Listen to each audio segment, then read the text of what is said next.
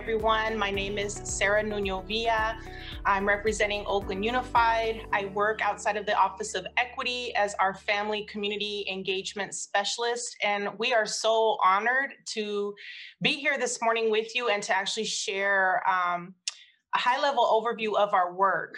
Um, so before we get started, um, I want to just kind of build off um, of the energy that Laura brought into the space um, from Bakersfield and just start with love. Uh, we do this work um, because we love it. We love our city. We love our students. We love our families. We love ourselves in the city and the work. And so we're going to kick it off with a song. Um, we dedicate it to you, to Oakland, to all of our students and families um, who we're supporting. So with that, I'm going to share my screen. I think I can now. They say love is the answer. They say love is the way. Missing the world, I hope I see you again someday. In isolation, trying to find the right words to say. To the rest of the world, from Oakland to the rest of the world. I love you. I love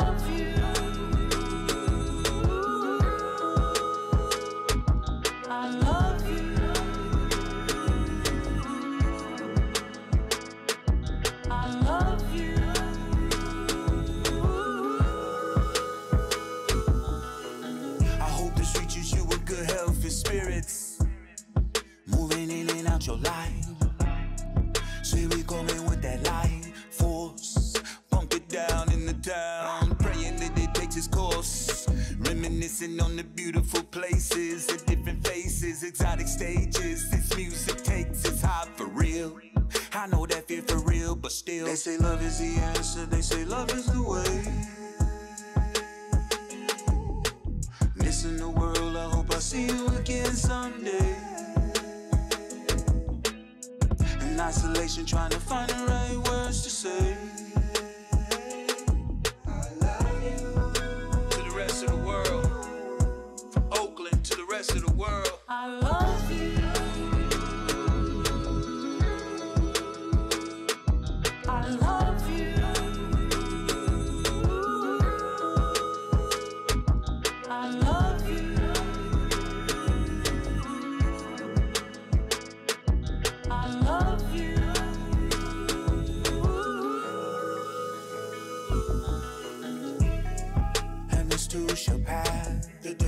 Stood still. Sit back and I lie. Revelations coming fast. Everything we thought would last. Forever, ever. But nothing like the present. Nothing lasts forever. Life is such a present. Now look at you. When you choose to be present. Wrapped up in the beauty and the love just for you. And then we stepping outside like.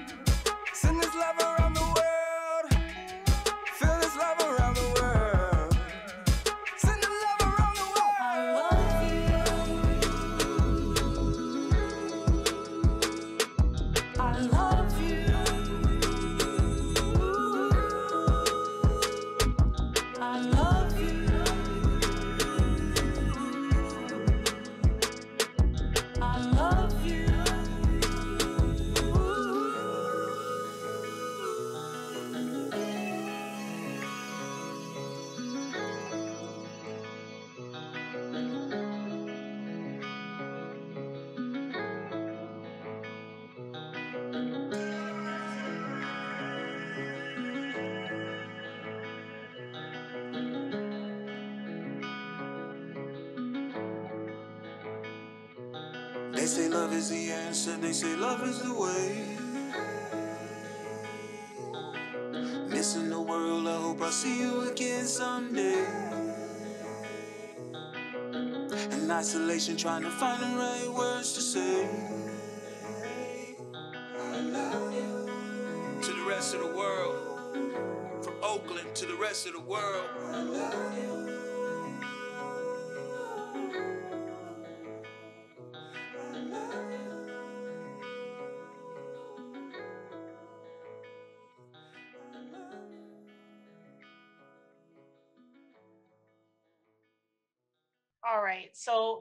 This is just um, an introduction of our team. We're not all here today, um, but some of us are. And so I wanted to give just folks an, a chance to introduce themselves and just share something that they love about our city.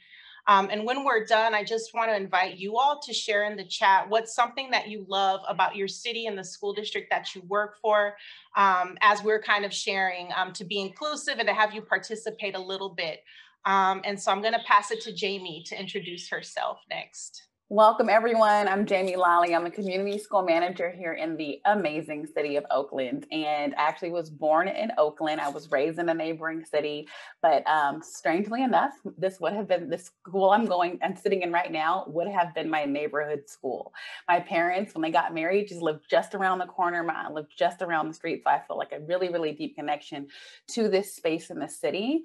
But I um fell i don't want to say i fell into education and like it grabbed me and held me like because it continues to teach me. So as much as i feel like i'm in the spaces of education and we're in you know sharing knowledge with parents and we're, we're informing parents i feel like they teach me more. I feel like i've learned so much. It's grown me up and created empathy in me but um, it just educates me daily and that is why i love the city of oakland. Good morning everyone my name is Jerome Gourdine. Currently, I'm Director of Targeted Strategies for Student Achievement for Oakland Unified School District.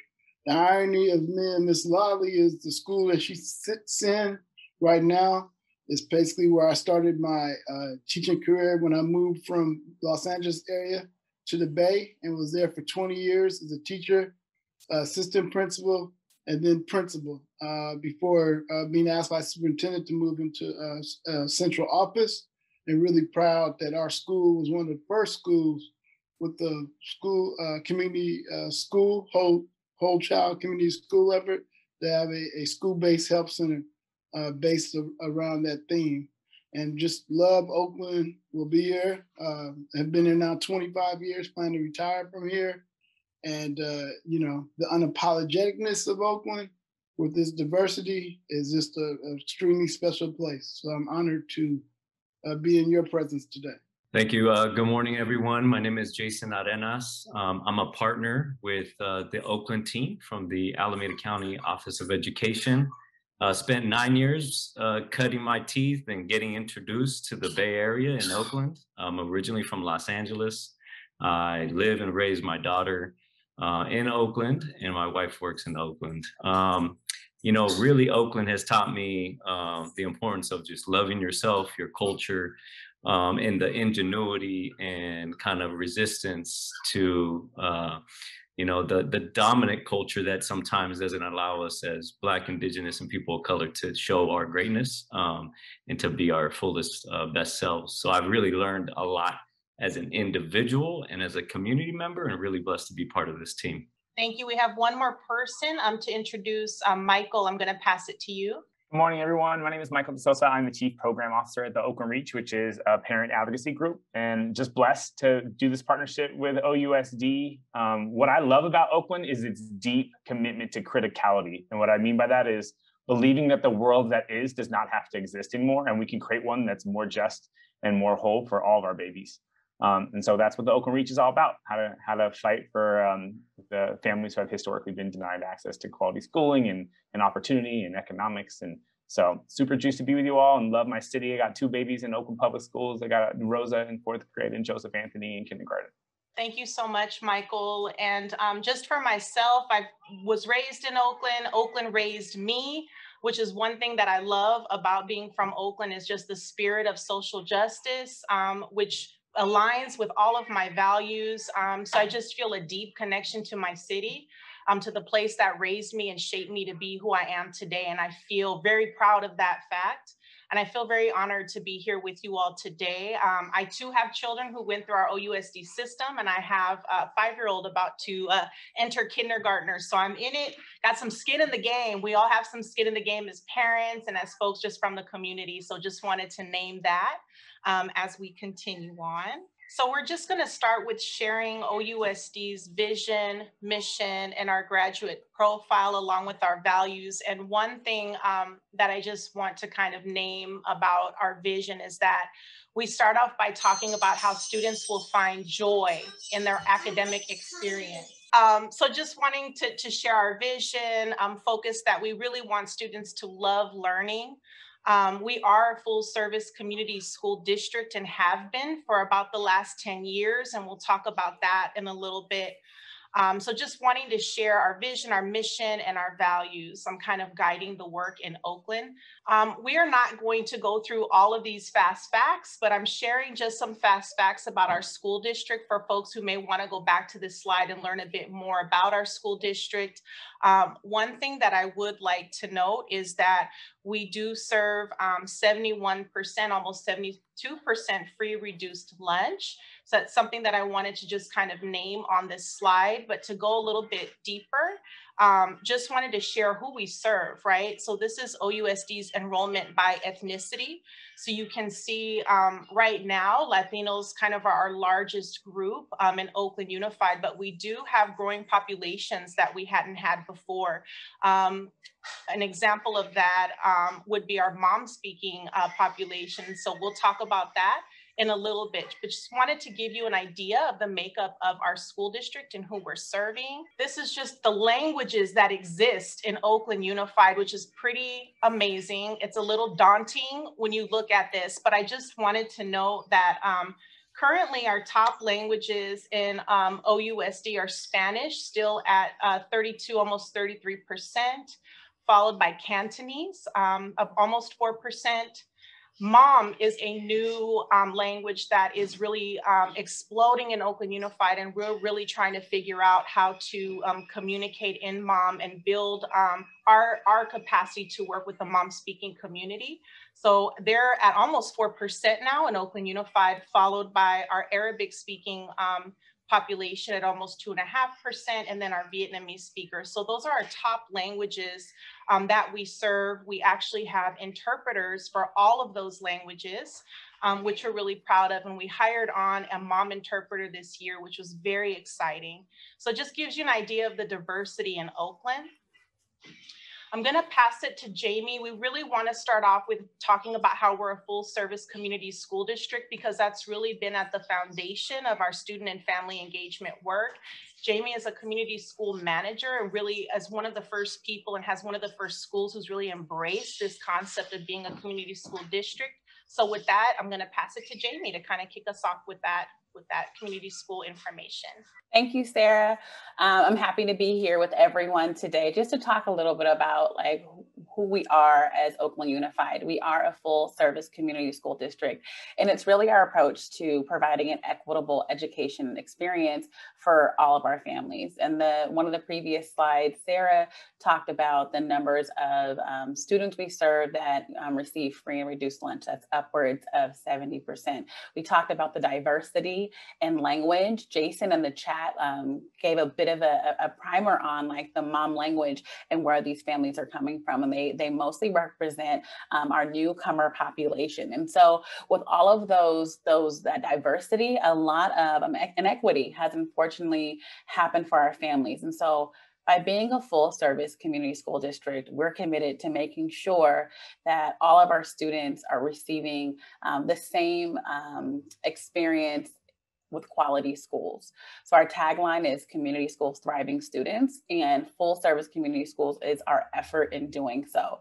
Um, if you look at the, the highlights over the inception, you'll see this is um, a decade long um, initiative that started with five community school managers. I was one of the first. You can see some of the funding attached to it, but you can see that we've gone deeper and committed um, more funds and more resources, both persons and staffing, to the fact that we now have um, upwards of 40 community school managers in a district that's about the size of 80. So if we could move on, I want to name that being a full service community school district is our effort of not just, oh, it's a great way to run a school. We feel it's an amazing way to run a district because we're supporting every aspect of our community. Um, just stopping on the slide for a second, if you want to kind of read about um, how this started, where it's going. Um, we partnered with the Gardner Center in Stanford um, to talk about this journey. And so this is the book called The Way We Do School. All right, so community school managers, these are my colleagues, my peers. I love them. Um, and they, this is not all of us, but we are at about half of the school sites in Oakland. So, key to the work of community school managers in Oakland, it really is about making those connections, that engagement. So, if you see at the the visual, like we support engagement with our school community, the community at large and our families. And families would include our students, um, our parents, our guardians, that we really are engaging each pieces of this wheel, as it were, this diagram, so that they understand how they intersect.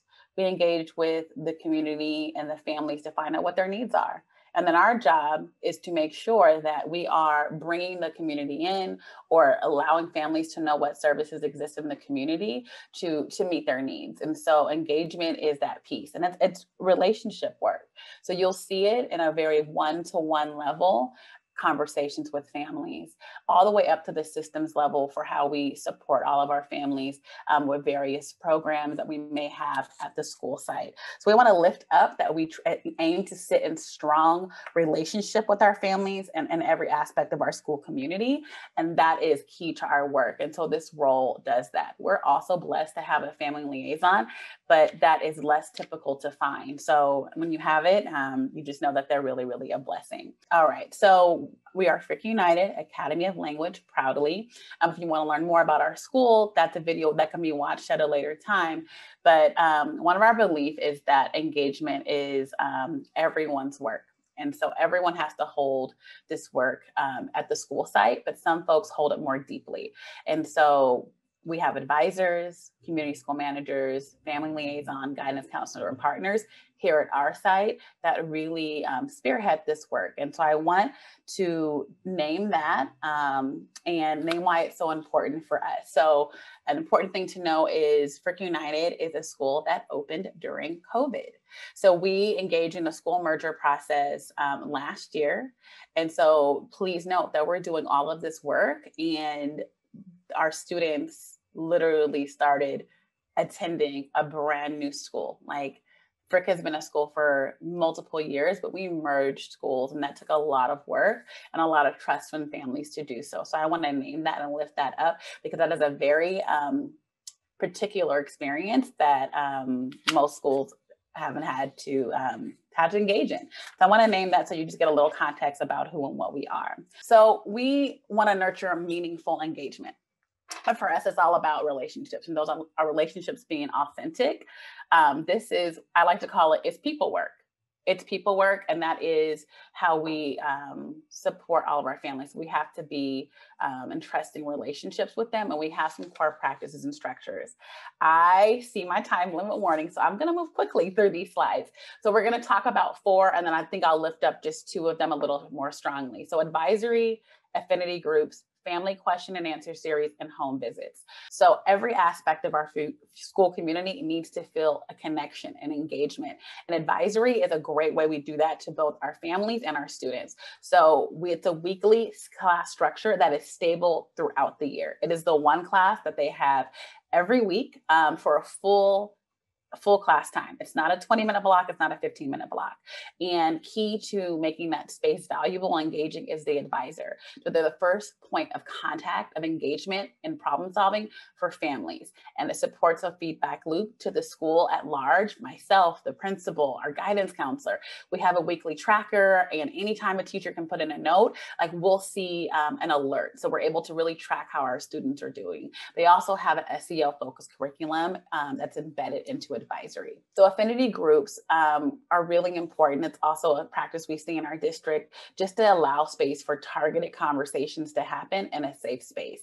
And it's really important that students feel a sense of belonging. And you'll see a couple of the affinity groups at the school listed, but they are really responsive to what the school needs are. I do want to name that. So I have groups in and around African and male achievement, Latino men and boys, and some groups are focused on our newcomers or um, gender specific or, or for our students who identify as LGBTQ, LGBTQ plus. So one of the things we realized this year, we were navigating families through well, a pandemic, and information sharing and communication became hyper important. And so what we realized is that we were asking families to understand, process, and navigate things almost um, as quickly as we were. And so we decided how do we get this information to families? How do we give them a space to ask questions? How do they give them a space to offer us feedback? And so we created a family question and answer series. And so initially we tried to pivot and i think this was mentioned in a previous um, the previous presentation from bakersfield like oh you know we were trying to mimic what we would do in person on Zoom, and it's just far too long. So we learned the importance of, of being in shared conversation spaces with our families, and this parent Q and A allowed us to do so. So we it's less about the content is what I'm referring to here, but the the structure. So something super short, no more than like a 10 minute presentation um, and allowing a ton of space for parents to ask questions to. We stay the whole time. So sometimes we end up giving our presentation multiple times during the time frame to allow families to ask whatever question they have need for and allows us to have follow-up. But having that open space less structured um, and just being a conversation is very common to black and brown communities. So families feel safe to communicate there and ask their questions because it doesn't seem so formulaic. That's been a success. And i'm going to close out with um, something i'm really proud of which is our home visits on the next slide. So we really knew that starting a new school during COVID, having relationships with families that felt very trusting was key. And also it would be really challenging to do so because of our of our circumstances and with being in distance learning. So home visits were a normed practice prior to COVID and they continue to be a practice during COVID. So we use that space to be and build intentional relationships with families, but they were doorstep visits. So they were shorter they weren't in the home, they were on the porch. Um, we went in twos, we focused on safety. And while the space could have seemed really, really um, transactional, do you have a Chromebook? Do you need a hotspot? Do you need food delivery? Um, we use that as a space to um, to really leverage a conversation. So we wanted the space, we wanted to be able to make sure that families had an opportunity to engage with families or to engage with school staff. So what we did while the, the reason may have been about a Chromebook, we left open-ended questions with each family. How are you doing? Do you need anything? Do you have questions about anything? Can I show you how to do this? Do you need any other supports? And so we took um, a need something that could be very programmatic, check something off. Like it's a Chromebook, it's food delivery, but we use it as a conversation starter, a conversation space. And we've been able to do um, more than 600 throughout the 2021 school year. So that, clearly that's this year, that's during COVID. And we found that to be a really successful tool for um, maintaining engagement with our community. I'm gonna pass it back to Sarah at this point. Thank you so much for sharing, Jamie. We thought we it'd be strong to start off with some site-based examples with Frick, who's our partner in this work. And so I really appreciate you sharing all of that, Jamie. Um, I'm going to just cover a little bit of how the Office of Equity supports um, types of activities that are happening at Frick, but also at other schools in Oakland, um, and really just focusing um, on highlighting our targeted initiatives to support literacy, attendance, A through G completion, family partnership, and youth leadership. Um, and we do that um, through some of these programs. You see these acronyms here. So AAFE is African American Female Excellence. AAMA is African American Male Achievement, APISA is Asian Pacific Islander Student Achievement, and we end with Latino Student Achievement. So in Oakland, we have a unique department that's allowed to focus in on um, groups that have been historically marginalized, right, or systematically marginalized. So we're gonna talk just a little bit about that. Um, here are some of our department goals kind of in a nutshell that I wanted to share with you, but I'm gonna go into depth in this next slide of kind of drawing that through line through what are we offering and then how does that impact sites, right? Um, oh, this does not look nice. So let me read off my other computer. I'm sorry, guys, got some formatting issues. What I wanted to highlight in terms of district-wide strategies for building authentic relationships is really talking about how through our targeted strategies, we're able to set up space with um, subgroups of students who historically haven't had that time or space to process what they're learning, to have conversation about what their experiences have been like. We've found that to be tremendously successful.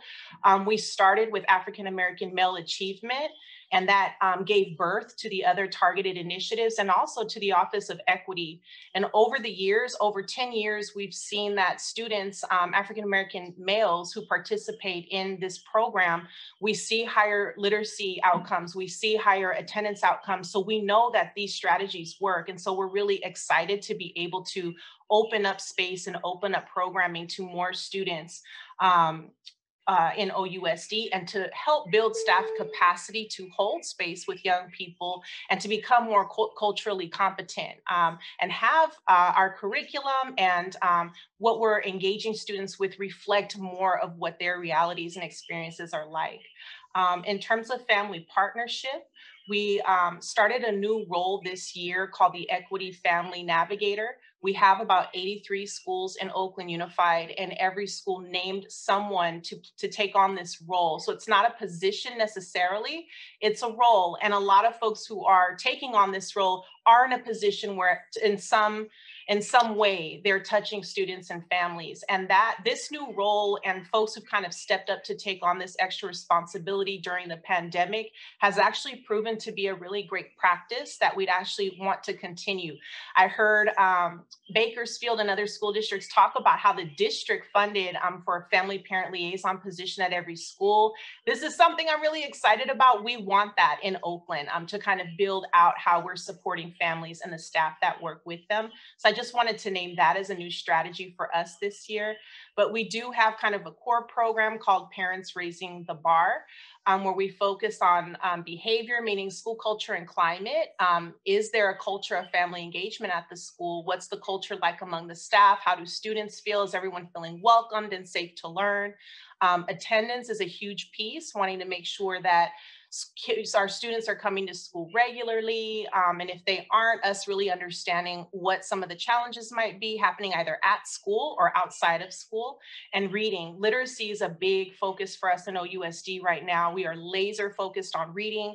I'm going to pass it to Michael in just a moment where he'll talk about um, a new partnership we're in with the Oakland Reach to improve reading at six of our elementary schools. And so I just kind of wanted to share some of those practices and kind of round out the family piece with, we also have um, a, dist- a rigorous district level advisory um, engagement structure. So similar to other school districts, we have an, an LCAP parent student advisory committee, and that, that committee has subcommittees. So an English language learner committee, a special ed committee, a foster youth committee, and more recently, um, a committee uh, to empower excellence in Black students' education. And that one is brand new for us, about a year old. So we're working on creating um, affinity spaces and spaces at site and district level for parents to engage, to help make decisions, um, to help share with us what the realities are for them on the ground, right? Part of what we're also doing as the Office of Equity, or part of what our charge is, is to increase um, equity SEL mindset across the system. So to partner with different departments, kind of build their capacity to serve students, to serve families, and to build their staff's capacity to do this work with an equity mindset, um, with a focus on meaningful student engagement, family partnership and our, our targeted um, initiatives, right? So that's that's something that our department has been tasked with. Um, we're doing a bunch of great work with families. We're doing great work at the site, but we continue to experience challenges, right? And so we just wanted to name um, three challenges that we're continuing to experience. And one is just literacy across the board, right? Um, we've joined this this cohort because we want to really figure out how to do a better job of serving our Black students and our Mam speaking students specifically. And so we're kind of focusing in on those two areas. Um, and so what we're understanding is that we know the challenge is great for our Mam speakers because they're we didn't have the capacity as a district to even communicate. And so now we've got a translator, we have a couple partner organizations, parents are getting more information in their native language, and we're really we're trying to build that muscle right to serve. Um, and understand that it's really hard to learn how to read in English when you're learning to read maybe in Spanish first and then English. And so it's like your third language, right? Um, so just kind of acknowledging that struggle. Um, attendance still tends to be an issue for a lot of our families for multiple reasons issues happening at school, issues happening outside of school. Um, and suspension, um, we have recently been called out for disproportionately suspending, in particular, um, Black male students, right? And so this is an issue that Oakland's had in the past. We can we continue to struggle um, with implicit bias, um, with racist practice that don't work for our young people. And so um, this is something else that we're kind of honing in on and, and dealing with as a challenge, right? Um, and so given these challenges, right, what we understand is that we have to um, really address the entire ecosystem and serve our families while we're doing that, right? And one of the ways we've done that is by establishing a racial justice, equity, and healing task force to specifically take on this work um, at a district level. So basically, we call it healing the fish, right? While we're treating the ecosystem, right? And part of the ways we heal the fish is by implementing the programs that I had mentioned, by continuing to be a community school district. Um, we have very robust multi-tier system of support, the MTSS um, at our school sites. We have strong health and wellness initiatives and programs. We implement um, a positive behavior intervention system across the district, and we do practice restorative justice. And that's kind of woven through our programs in the district. We're very focused on social emotional learning um, with youth and family partnerships. So really looking at staff modeling, what that looks like, right? Um, and just kind of continuing to have, you know, build professional development, have spaces where we talk about um, having an equity mindset. Um, I'll share with you some foundational trainings, um, a list that we have. Um, and then just in the purple squares, these are some big initiatives that are kind of driving um, where we're headed as a department, as an Office of Equity. Um, so one of them is the George Floyd Safety Plan. Um, there were issues with having police in our um, high schools and some of our middle schools, and this feeling of students and families um, feeling policed because we had Oakland police on our campuses. So a community pushed back on that and won, and we no longer have police on our campuses, and we are reimagining our school security officer position um, to have it be more restorative. And so that's just an example of uh, one of the initiatives that we're working on um, to treat to treat the e- ecosystem, right, as we're healing the fish within our students and families and staff, right? This is just a list of some of the ways we provide professional development for different topics related to um, racism. We know that racism is one of the root issues in our in our educational system, um, in our institutions, and so we're really starting to unpack that and, and understand what that means and how that shows up for all of us. All of us have been impacted by it somehow. Um, and so this is just a, a, list of a series that we have for foundational trainings for our staff. And I'm just sharing our org chart for this is just for the Office of Equity. I'm not going to go through it, but I wanted to just share how we're organized. So you'll see titles here and that type of thing. And if you have questions about this, feel free to follow up with me. Um, I'm actually going to pass it quickly to Michael. I'm not sure how much more time we have. Um, three minutes. Oh no. So quickly, um, he's going to talk about the Hub partnership, which is really exciting for me because we're starting to reimagine what it looks like um, for us to have a family parent liaison position um, institutionalized in our system using some of these strategies. So with that, I'm just going to quickly pass it to Michael. Me being short-winded is very challenging. I'll do my best. I see Jamie's face. Um, we believe at the Oakland Reach, one of the ways to disrupt the history of uh, kind of racist schooling is by putting families in positions of power, right?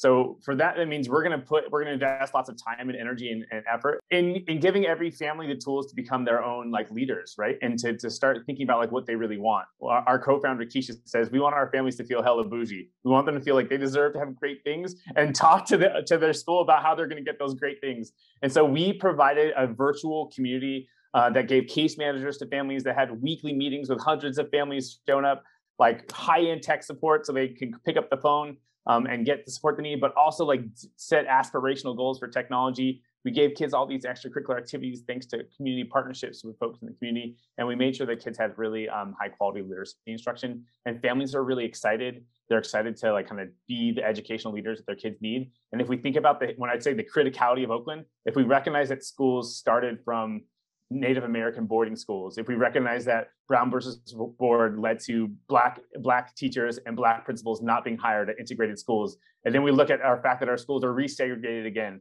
this is all because schools have been done to black and brown families. And what we're committed to doing is making sure that families are now co-designers, co-leaders of their children's education. So big shout out to OUSD for doing this work to position families as partners um, and leaders in their child's education. And we're super excited about what we can do with these hubs um, by, really fighting to figure out how to reposition families as leaders. Thank you so much, Michael. I realize that we're out of time, but I want to just really acknowledge, acknowledge um, Jason Arenas and all the support that the county has extended, um, not just Oakland Unified, but all of the school districts within Alameda County to do this um, bold and courageous work of really identifying race as an underlying um, issue and giving us tools um, to have conversations with our school districts about that and how to shape the work around that. So Jason, can we just close out quickly? You don't have to go through all your slides, but I just want you to say a couple words before we finish out. Yeah, most definitely. Um, like I said at the beginning, just really honored to be part of this work with the Oakland team.